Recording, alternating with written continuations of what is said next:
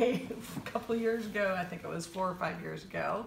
Um, Julie, Janine, and I were sitting around at a restaurant, as you can imagine, as physical therapists, talking about different treatment techniques for different patients that we had that were similar. And we suddenly realized, oh my gosh, what kind of information that we had for each other.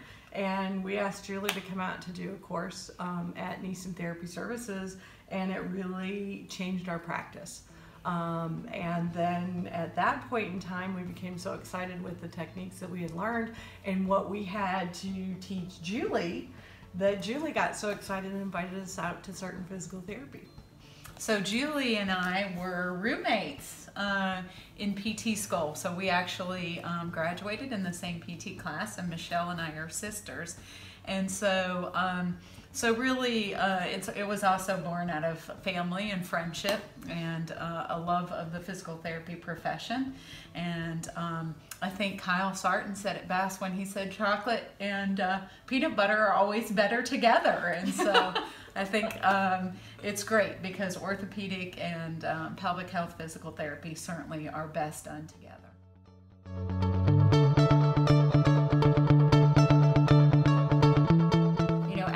Pelvic floor physical therapist for now 18 years, I've always had to choose a course that was either completely related to the pelvic floor or an orthopedic course or a visceral course.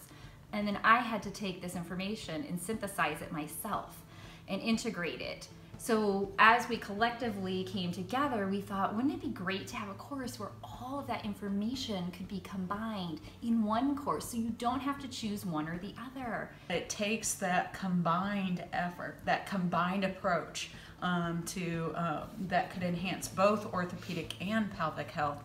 Um, so we really wanted to start to mesh those two realms of practice and really take both to a whole new level.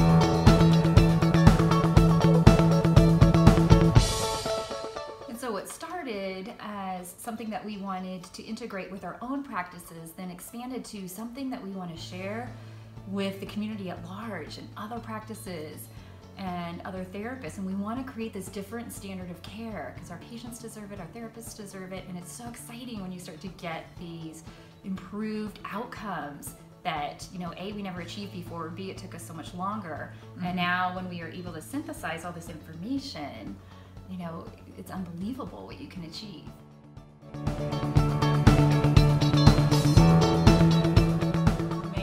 Comfortable experience to be able to transition to working in the pelvic health environment if you're an orthopedic therapist.